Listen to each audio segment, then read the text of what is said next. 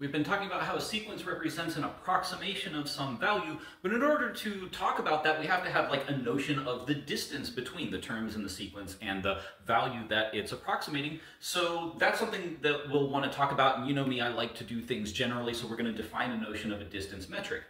But the notion of distance itself somewhat depends on the notion of size, right? You want to talk about the size of a distance, for instance. And so the generalization of that notion is the concept of a norm. And so that's going to be the structure for the next several lessons. We're going to start by introducing the concept of a norm, study it for a little while. The norm on the real numbers is going to be the absolute value of x. Then we're going to use that to talk about the notion of a distance on the real numbers. The distance metric is going to be the absolute value of the difference of two real numbers. And then once we have all of that, while we're at it, we might as well define notions of topology, open sets, and stuff that will be useful when we get back around to talking about the limits of sequences.